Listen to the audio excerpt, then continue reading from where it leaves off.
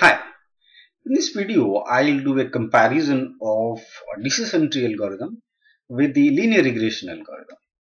Both these algorithms are supervised learning algorithm. You can use them to predict target variable given a set of explanatory variable and uh, both are going to do a good job. But how do we decide uh, what uh, which, which one of these algorithms is to be used for a particular problem? So we'll just learn, we'll just discuss what uh, what are the different features that you know separates them and how do we decide uh, what to use when. So let's uh, understand the theory uh, briefly and we can do a comparison uh, in a better way there. In uh, linear regression, the, the functional form is very clear. You know, there is a given given a set of explanatory variable x, you are predicting the target variable y okay? And you can write it in a linear uh, equation right? Linear equation is nothing but you know it could be something like this. So this is a linear equation. Given x is very clear what is y. Okay? So that is the way you uh, you know you do a linear regression wherein you have an intercept you have an intercept and then you have a, a slope coefficient right? So given intercept and slope you can always predict the value of y given a set of independent variables. That's not the case in decision tree. In decision tree you go by partitioning your uh, data uh, to uh, different uh, you know smaller segments and then uh, take an average of uh, the target variable in a given segment. Okay? So there are several segments we have you know noted at uh, the segments R1, R2, you know, there could be m number of segments. And in each segment we just assume that there is an uniformity. And you just take the average of the target variable to predict uh, so so uh, what are the x variable used for? Well the x variables are used for partitioning your data. Okay so that's the idea. So there's a fundamental difference between the theory so this is more parametric in technical terms. We call this is you know more parametric in nature. That means uh, we have the parameters, you know, the intercept and the slope coefficient. These are parameters, right? Uh, unlike uh, in linear regression, which is uh, which which gives us parameters, we normally don't have um, parameters in decision tree. Although loosely we can say the number of you know segments or number of terminal nodes could be considered uh, considered as some sort of a parameter but yeah theoretically it is not the case. So given that we have some sort of an understanding of the theory or the difference in the theory of decision tree and linear regression let's understand uh, which one is better and what is well there is no answer to this. I mean both perform uh, very good uh, but there are situations where decision tree performs better and there are situations where uh, linear regression performs better. So if you are uh, sure about the relationship between your target variable and explanatory variable, you are very sure that there is a linearity uh, in your data. So you, can clearly see there is linearity, right? So you can fit a, a regression line, a linear regression line. In that particular scenario, you should go uh, for linear regression. But many a times the uh, relationship between the target variable and the explanatory variables are not very clear.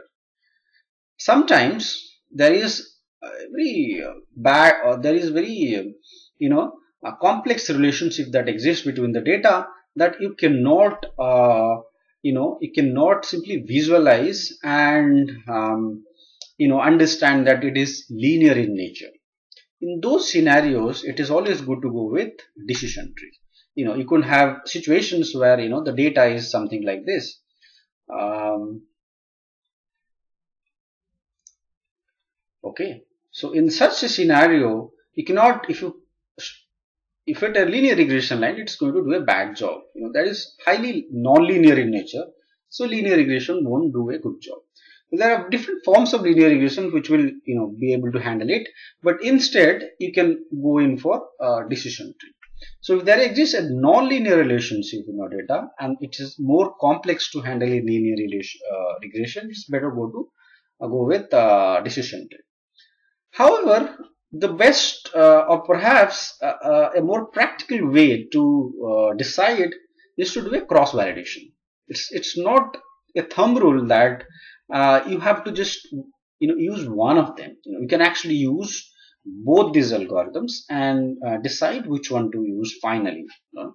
you can compare the output or results from these algorithms just by doing a cross validation with your test data and see which one is performing better. The one that is performing better is to be considered for the final, uh, considered as the final algorithm. Okay, but um, th going through a proper theoretical route is always recommendable because cross validation is always more of an applied thing which you can always confirm at the end of the analysis not at the beginning of the analysis in the beginning you should actually uh, understand the problem at hand and see which one is uh, going to work better. Alright, there are other differences between uh, decision tree and linear regression. Um, decision tree is very easy to interpret. It's very easy to interpret. You have a tree like this. Okay, you can uh, explain to non-technical audience very well that look, this is my uh, tree and this is the way the data is classified into okay and a decision tree can well be used for classification and regression even for regression you can explain it uh, in a very well manner okay so uh, in, interpreting your result is very easy even for non-technical audience and it, it is going to help you a lot when you present your work as a data scientist to uh, somebody who doesn't come from statistical analysis background so it is uh, you know if your interpretability is the question is something that uh, matters to you, then it's good to go with decision tree. However, there are instances when uh, interpretability is not that important. Uh, you would rather uh, have a result that is more robust in nature and something that uh, takes into account um, you know other uh, aspects of data analysis, not just predicting the target variables. One other aspect of data analysis is finding the causal aspect, causal uh, effect. Okay. So what do you mean by causal effect?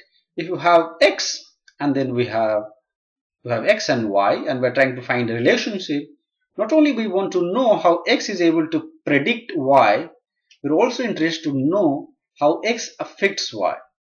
So if I change X by one unit, how much that uh, affect the value of y. Or technically speaking, we also want to know the change of the value of y with respect to change of x. Okay. Technically, we call this as marginal marginal effect. Okay. So that is also of interest to uh, data analysts okay so uh, I'll take an example to show you so here is an example of a regression uh, analysis wherein I have tried to uh, predict the salary of someone given the number of years of education so salary uh, is y which is uh, being modeled as uh, the number of year of education. Okay so this is the linear regression. Now we have the result in place. Now it shows that um, so the x variable 1 which is your education takes a value of 21. That means if the number of um, uh, the if you increase the number of year of education of somebody of an um, employee let's for um, instance um, increases by one unit you know then the corresponding change in the salary of the same employee will be 20.9 uh, units. It could be dollar, you know, pound or rupees, depending on the currency of data that you are taking in your data set. Okay. So this particular analysis cannot be done using decision tree. You can only do it using linear regression. Okay.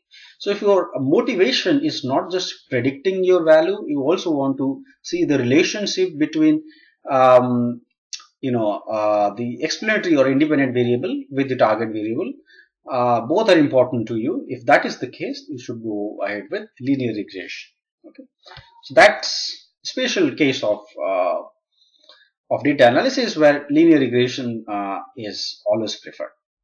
Now here is a comparison of the advantages and disadvantages of using decision tree.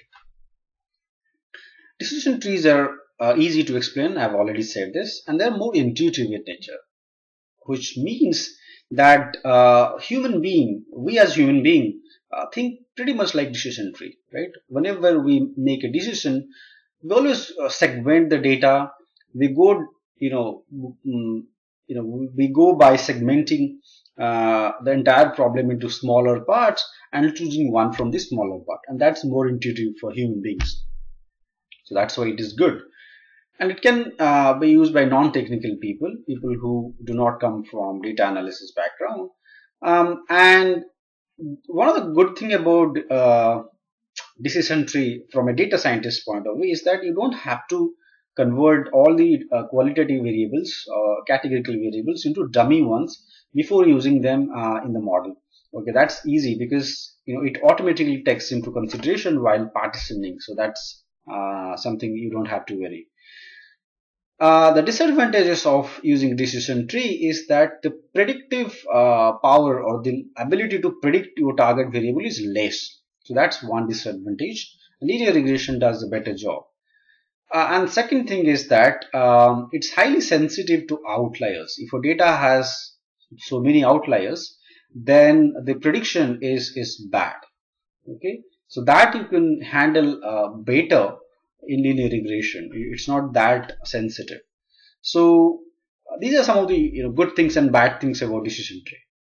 If you uh, there are different variations of decision tree. You know there are uh, concepts like bagging, uh, boosting, and then uh, random forest. So these are uh, different versions of decision tree which combines various decision tree to sort of predict uh, the target variable, uh, they do a better job. So the uh, so the first disadvantage will go away when you use you know decision tree um, which are more powerful in nature. Okay, and um, outliers are always going to be problem for any model. Okay, uh, if you can handle outlier while doing the exploratory data analysis, while doing the preliminary analysis before building the model, it is always uh, good for you. Okay. Thank you so much.